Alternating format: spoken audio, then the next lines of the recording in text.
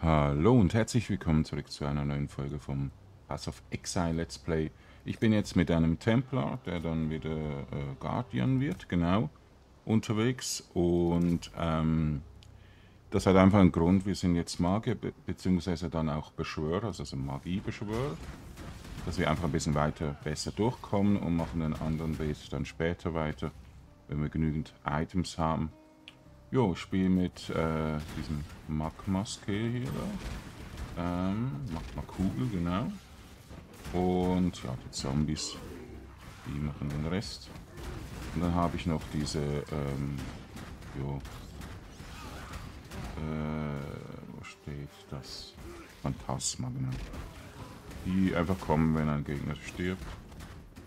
Bis ich glaube ich irgendwie fünf oder so habe. Jo. So, wir haben ja schlechte Modifikatoren gehabt. Dieses Schild äh, bei den Gegnern, dieses Feuerschild. Und dadurch war einfach das Nahkampf richtig ätzend. Ich habe dann einen äh, Bogenschützen gemacht, der auf Belagerungsballiste oder später geht. Und jo, ich habe da auch ein bisschen Probleme gehabt mit den Modifikatoren. Eher Schnelligkeit ständig gehabt und so. Aber es ging schon tausendmal besser und dann habe ich noch einen, eine Sorcerin gemacht mit Nekromatik bis Akt 2 Mitte ungefähr, oder ja, ein Drittel, äh, um Entweihen zu bekommen, weil das, äh, der Beet braucht hier Entweihen und der kriegt ihn, kriegt ihn wahrscheinlich nicht über da ja. Also gut. Ähm, wir gehen jetzt zuerst mal noch einen Skill holen. Ich glaube, ich brauche ihn gar nicht, aber ich habe den auf Level 2, also habe ich noch nicht freigespielt. Ähm, jo, brauchen wir eigentlich gar nicht. Also tun wir mal noch das letzte. Wir haben, nein, wir haben noch einen nicht. Wo ist das letzte? Äh, von diesen Muscheln. Irgendwo ganz woanders, wahrscheinlich ganz im Norden. Hier waren wir. Okay, und ja, gehen wir dann ins nächste Gebiet, das hier oben ist, wo wir gestern noch kurz drinnen waren, aber auch die Gegner waren. Genau. Jo, und wir haben immer dann Raging Spirit und danach noch ähm, Absolution. Mit Absolution werden wir zuerst einmal spielen, weil das ist wirklich ein tolles Spell der so drei Magier-Skelette noch beschwört. Das sind ja vielleicht eher so einfach Geistermagier. Das sind, glaube ich, keine Geister, sind irgendwie einfach Rüstungen oder weiß nicht, was genau Absolution-Leute sind. Also sind spektral, also schon Geist. Naja, ich weiß es nicht genau mehr. Aber ich habe es ab und zu ein bisschen gespielt, weil es wirklich einer der Damage Minion Space äh, Skills ist, also wirklich viel Damage macht. Und ja, macht ziemlich krass, also so P-Speed vor allem und Sicherheit ist auch hoch, weil der Gegner schön stunt, irgendwie so ein bisschen so, so Airstrike, das finde ich so cool. so, also, wir müssen den Weg finden. Sind, glaube genau die, den falschen Weg gegangen. Ach, sonst haben wir da hier doch den anderen Weg, oder? Ist ein bisschen verwirrend, dass ich kenne mich nicht mehr so mit dem Layout aus. Ich werde mich wahrscheinlich manchmal doch ein bisschen... Doch, wir sind richtig. Das ist der, der, Einzel der, ein der eine Weg. Ja, gut. Also. Ist nicht so toll heute Morgen. Aber ich habe kaum noch Zeit, weil ich immer beim Vater essen muss. Jetzt momentan bin ich halt wirklich den Abend, den späten Nachmittag und Abend nicht hier. Ich muss am Morgen aufstehen. Und ja. Genau, ich verteile es jetzt einfach so leicht wie möglich und später dann so effizient wie möglich am besten. Aber ich weiß nicht, ob das etwas bringt, wenn die Gegner selten sind, oder? Also ich würde lieber eigentlich das mit den häufigen immer machen aber sie nicht so zum Zug lassen natürlich. Ich denke, es ist besser, wenn man es bei den häufigen macht später. Aber wie das soll gehen, weiß ich jetzt nicht. So, jetzt nicht zu viel nach Norden. Wir müssen ja alle Gegner gehen hier. So. Ja. Ja, die Phantasmen sind eigentlich cool. Aber sie sind nicht effizient genug. Also werden vielleicht dann später ein bisschen effizienter natürlich. Auch durch Unix vor allem. Und das mit Soul Rest ist ein Stab, der die Minions besser macht. Und ja, der Schild ist schon wieder hier. Ja, hier auch nochmal das ein rare, ein rares Skelett hinten dran. Wird manchmal vielleicht ein bisschen schwer sein. So, konnte dann haben wir. So. Genau. Okay.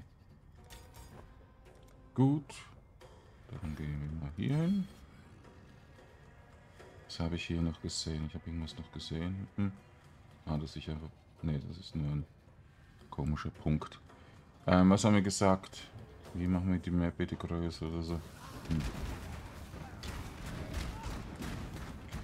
Das ist jetzt nicht mehr so genau. Schauen.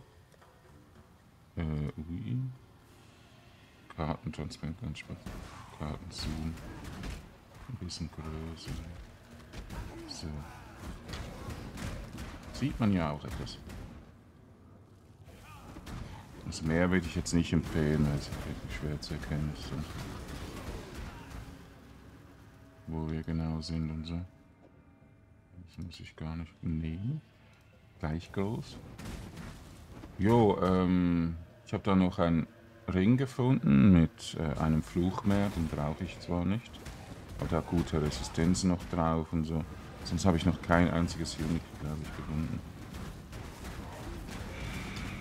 Ein schade. Uh, der beschwört auch an den Inuas. Gut, das ging ja ziemlich flott. Habe ich jetzt? Oh, ich hab's jetzt. Also, machen wir Phantasmen an und später machen wir Minion Damage rein. Nee, das will ich nicht mitnehmen. Ach, der, nein, der auch nicht. Wenn sie drei äh, andere Sockel haben, also die alle drei Farben haben, dann tun, ähm,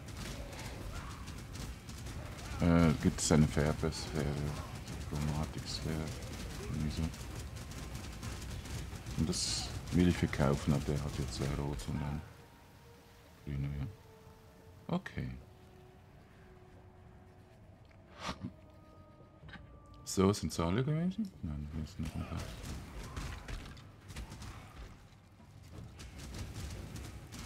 Also jetzt greifen wir kleinen äh, Schädel an, die eigentlich ziemlich gut sind. Zwar ein bisschen wenig Schaden machen, aber dafür oft da sind dann. Den kann man gut beschwören. Und bleiben halt nicht so lange. Aber so das Auto-Aim ist da super an den...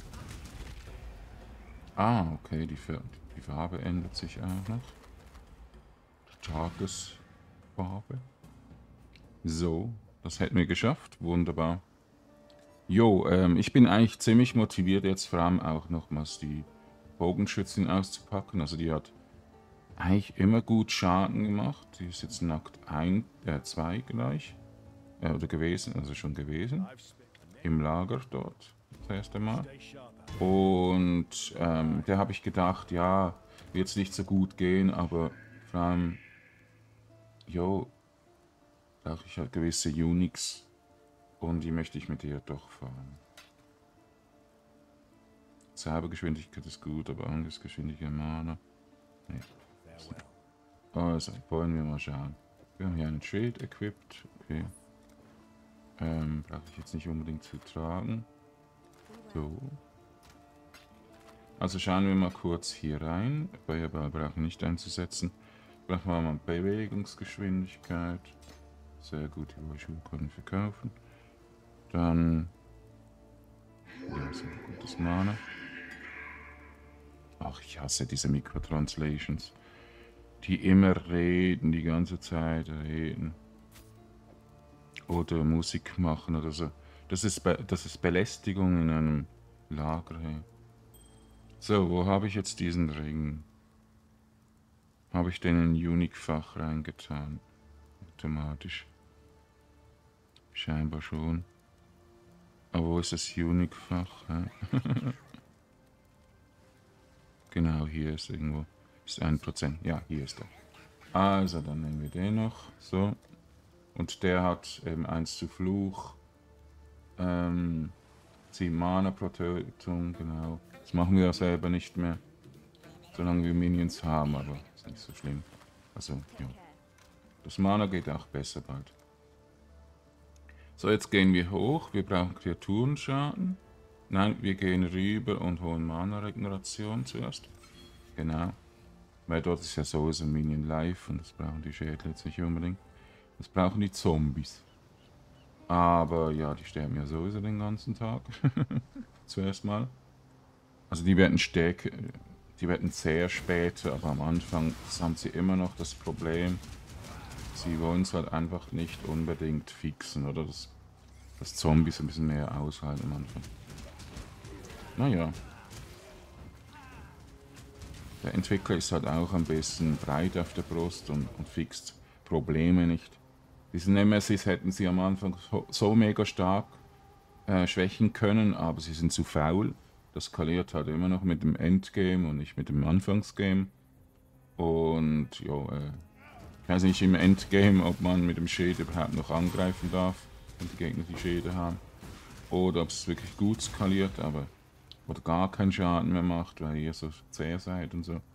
Aber der macht, glaube ich, Reflekt und das Schaden. Und das hast du am Anfang einfach noch nicht für Resistenz. Tja.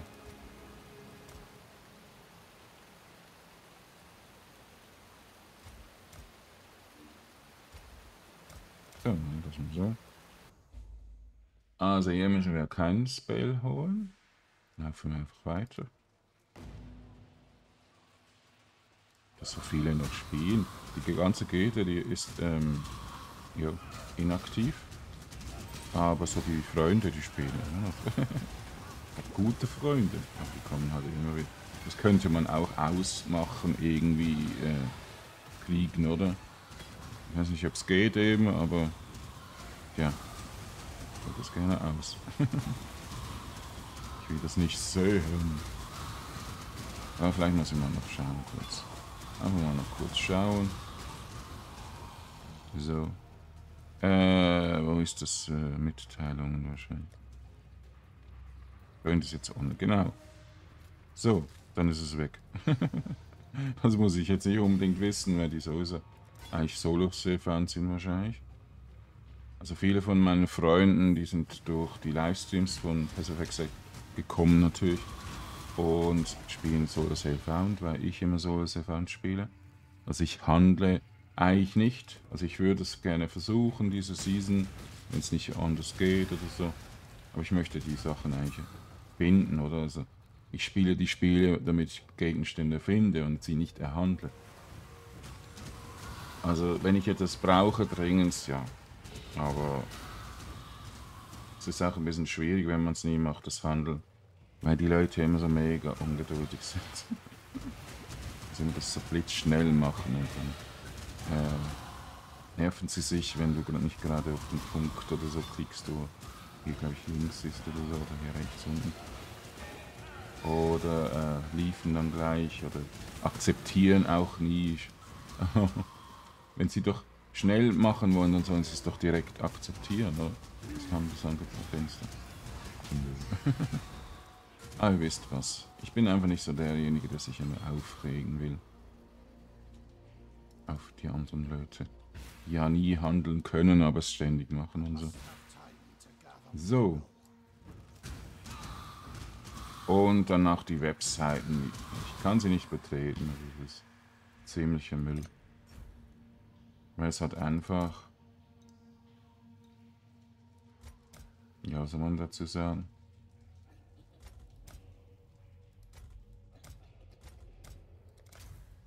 Schwer ist, oder? Es, es ist etwas, was eigentlich gar nicht die Spieler machen wollen, aber müssen.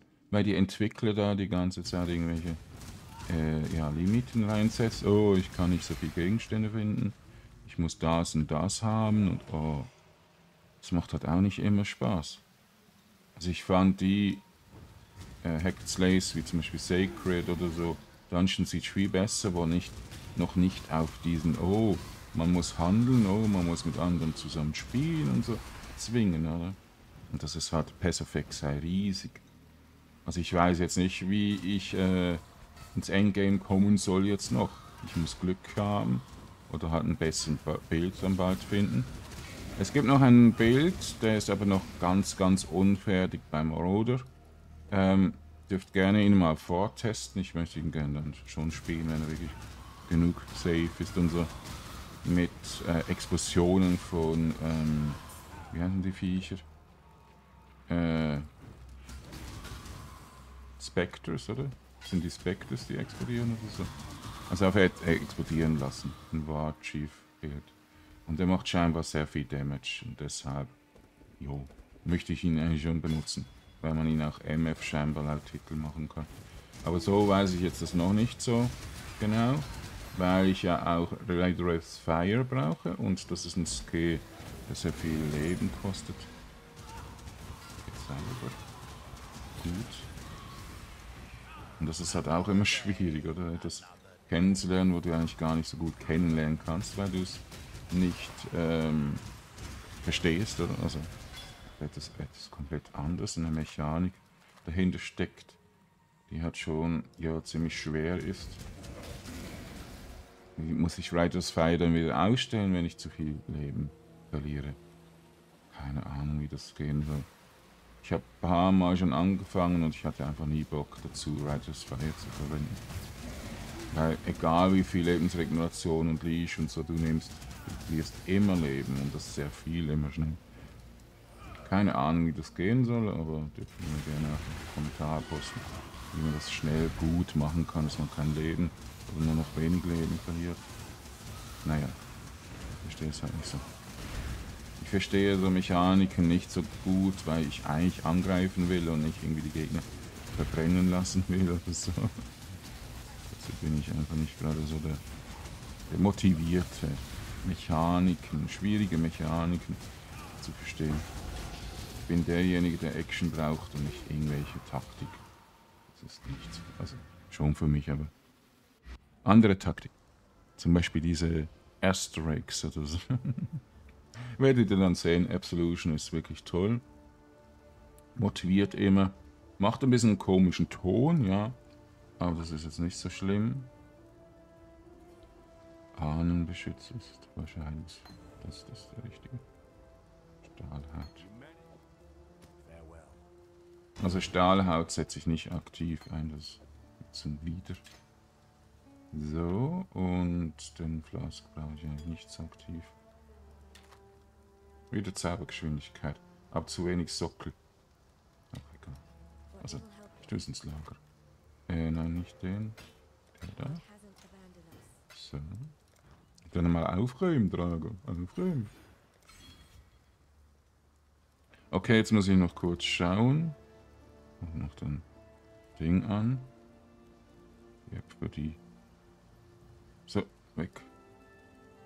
Bildtool. Ähm ich habe den falschen Bild gerade. Ich muss Isolation wieder nehmen. Also Belagerungsbelustbiste habe ich dabei. Und hier muss ich wechseln zu Guardian jetzt, nicht mehr Witch. Und hier brauche ich 50 zu Maximum Live nehmen. Ähm, machen wir nochmal auf. Äh, wie macht man den auf? Äh, P. Nein, P will ich nicht. P will ich doch nicht. Äh, Inventar. Was ist denn P? Hallo P, da, P. S will ich da. Und beim anderen will ich D. D. Und C ist gut. Äh, nicht Blake-Minen zünden. Äh, nein, ich sehe auch. Das ist Minen zünden am besten. Der Knopf. Der Knopf neben Y. Also nicht belegt. Ist welche jetzt? Ja, die, die sind alle nicht belegt. Sozial ist es nicht belegt. Ich bin nicht sozial. Also, wie müssen wir jetzt das machen? Wir machen hier Totem, Sprint, Sprint, so. Gut. Also, der Totem greift so mit einem Feuer-Flammenwerfer äh, an. Und der tut einfach Gegner auch ein bisschen anlocken. So. So jetzt. Ja. Und hat auch noch so einen brennenden Boden, stimmt. Seit ja ein paar Patches. Ein paar vieleren Patchen. Patches. So, also. Ja, jetzt gehen wir natürlich weiter. Jetzt kommen wir auch ein bisschen schneller vorwärts. Ich muss das da durchgehen. Ich immer die erste Wahl einfach missachte. Und dann ist dort.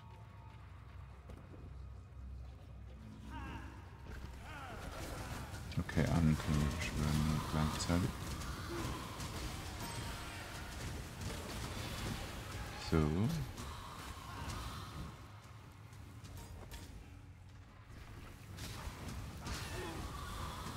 Also ich muss sagen, es ist sehr, sehr viel weniger nervig als Nahkampf. Äh, genau.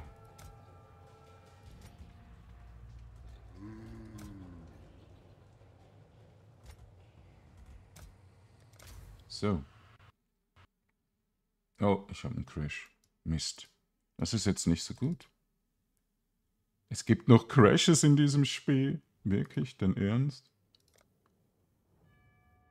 Einfach so das Spiel beendet. Keine Fehlermeldung, nix. Okay. Ja, sonst gibt es eigentlich Fehlermeldung. Oh nein, die Minimap ist wieder so dick. Jetzt müssen wir das blöde Zeugs wieder laufen. Hm?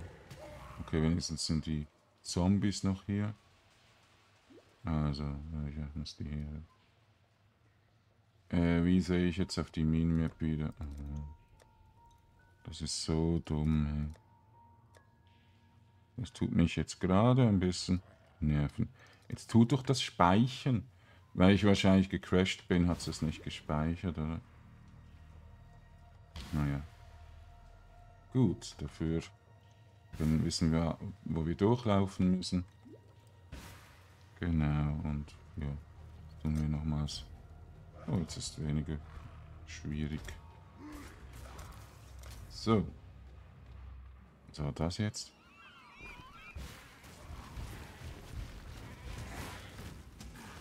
Irgendein Zombie hat so eine Hilfe gemacht. Er würde gestorben sein. Genügend, ja.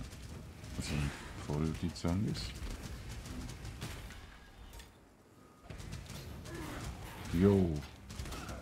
Hier in diesem Level einfach geradeaus gehen. also dem Weg folgen, nicht geradeaus gehen, weil es ja wieder Kurven macht, aber genau. Also ist, ist wirklich jetzt nicht gerade so eine mega gute ähm, Liga. Es gibt Probleme, also die Spieler sind manchmal nicht so glücklich, klar. Aber für mich geht es ja auch um die alten Neuerungen und so. Es ist jetzt nicht so wichtig, ob jetzt diese Liga äh, viel Content hat und schönen Content hat.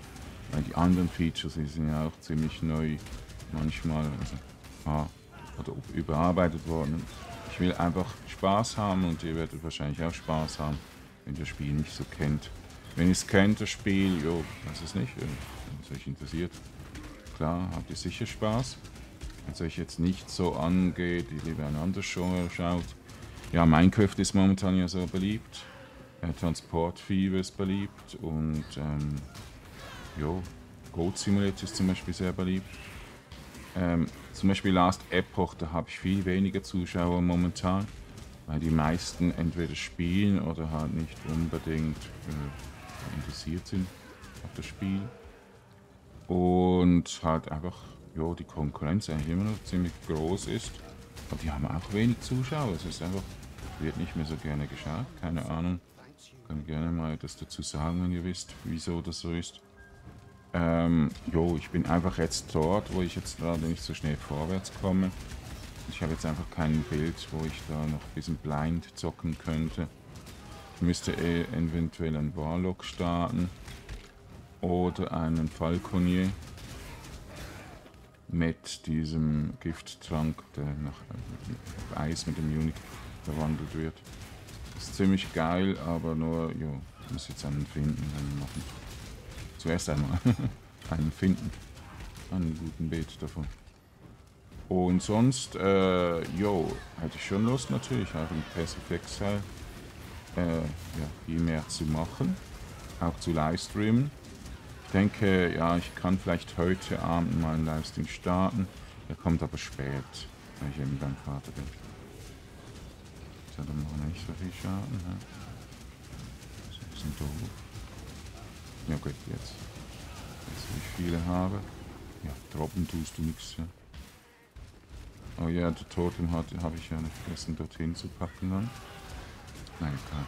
Der hätte noch ein bisschen Schaden gemacht, um Serien. So, und mir geht es ja immer darum, irgendwas zu erreichen. Also ich bin so mega motiviert, Hack and Slash zu spielen, bis ich irgendwas erreicht habe. Und das kann wirklich etwas Großes sein.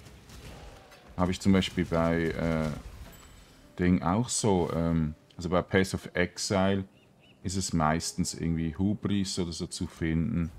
Ähm, jetzt denke ich mal also Hubris Circles, um zum Beispiel hier für diesen Beet ein gutes Unique zu haben, glaube ich. Ja, ja, diesen Beet. Und ähm, äh, ich weiß nicht, wie der andere heißt, Al-Abis oder Al-Abis oder so etwas. Ein Ring, der die Projektile zurückbekommt. Bekommt. Ich weiß nicht genau, wie er heißt, aber irgendwas ähnliches. Und der ist dann für einen Icicle Mines Bild, glaube ich. Und sonst äh, weiß ich nicht, was ich noch machen soll in dieser Liga. Natürlich der Content einfach so weit wie möglich schaffen. Zum Beispiel Delphen wäre noch ein Ziel. Und in Last Epoch ist ja immer schon das Ziel, einfach Corrupted zu spielen und dort äh, ja, zum Beispiel Julera noch machen. Das ist sozusagen der End-End-End-Boss, der höchste Boss. Und sonst weiß ich auch nicht mehr, was ich noch machen soll dort. Also die Motivation ist eigentlich wirklich, ja, im Circle weit genug zu kommen. Und so zum Beispiel noch einen Circle da fertig machen. Circle of Fortune. In Minecraft ist es zum Beispiel da, diese rohen Blöcke zu, abzubauen.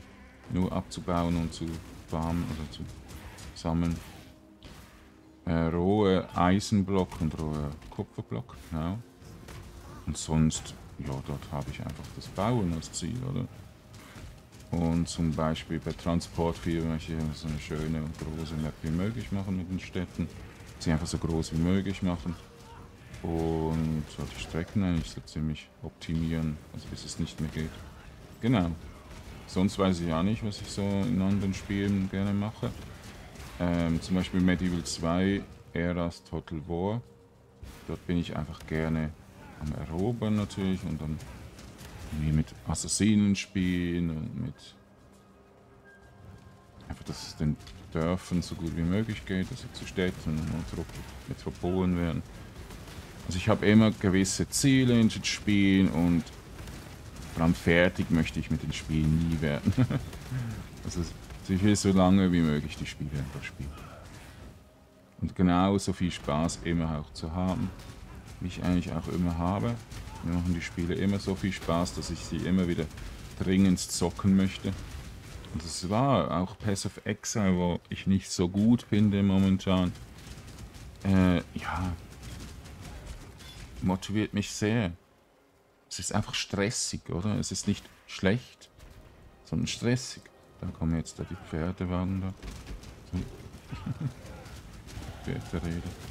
Wagenrede. Also, da haben wir live. Da machen wir doch mal live. Das, das schützt uns sehr. Jo, und dann haben wir das Gefängnis erreicht. Da machen wir einfach mal random. So. Jo, wir gehen noch zurück, um einen Spell zu holen. Also ich glaube eine Aura oder so sollte ich holen. Ich hole noch Cleric, das müssen wir noch equippen. Und wir haben so einer von diesen, genau, Korrekturpunkt für mit dem passiven Ski Trees wäre. Sehr gut. Ich finde das Bait irgendwie sehr schön. Habt ihr das gesehen? Mit dem Lager in der Nacht. Entflammen, Streuschaden, Aderlass, Blitzschaden, Feuerschaden. Ich weiß nicht, ich hole mal Feuerschaden einfach so. Mit diesem, glaube ich, muss. Nein, ich muss äh, Identifikationsrolle. Sam, ähm, genau, ich nehme Kreaturenschaden habe ich, glaube ich, muss ich mal suchen. Und einen Feuerschaden wollte ich nehmen. Dann nehmen wir noch Blitzschaden. So, die tun wir hier rüber. Streuschaden möchte ich gerne noch equippen können. es kostet jetzt viel mehr Mana wahrscheinlich, aber gut. Ja. So, Entweihen haben wir hier und Arkane Woge hatten wir noch hier. Nicht unbedingt dort. Dann haben wir sicher noch einen guten Gürtel, Dankeschön. Und... Genau, ich brauche doch nicht Streuschaden, nein, ich brauche äh, Kreatur. Kreatur. Skelettbeschwören brauche nicht hier Kreaturenschaden. Habe ich hier noch irgendwo einen Kreaturenskill? Postspurt. Zombie, genau. So. Rolling Mappa brauche ich eigentlich nicht mehr. Kreaturenleben. Würde ich ja gerne manchmal verwenden. Und sonst, äh, was werden wir noch? Äh, ja, wir müssen noch mit dem reden. Genau. Dankeschön fürs Zusehen. Bis zum nächsten Part. Euer Drago Basler. Tschüss.